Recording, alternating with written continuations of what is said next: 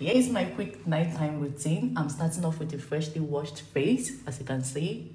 Okay, I'm starting off with this, the ordinary caffeine. I apply this around my eye area.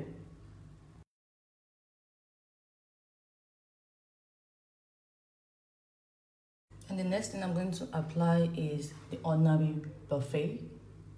Okay, you see it's just the weed kind of. The next thing I'll be using is